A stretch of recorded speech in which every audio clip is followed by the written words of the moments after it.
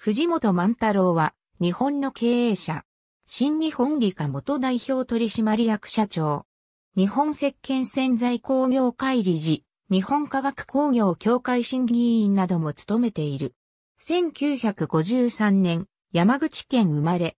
1975年3月に山口大学経済学部を卒業する。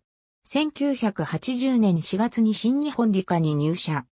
1998年6月に同社オレオ販売部長、2002年10月に同社管理本部長、2003年6月に同社取締役管理本部長、同年7月に同社取締役総合企画本部長兼管理本部長を歴任。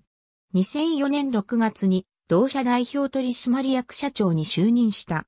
2016年同社代表取締役社長執行役員を務めている。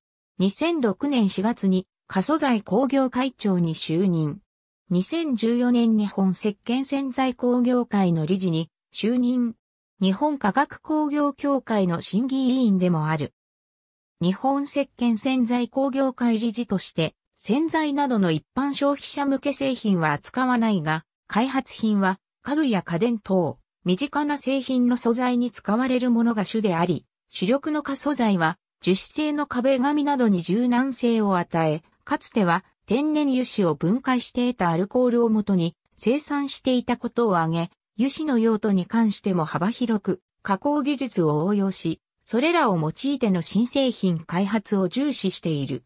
また、パソコンの新型ハードディスクへの採用、回転摩擦を軽減する役目を持つ流体軸受けオイルにも目を向けている。ありがとうございます。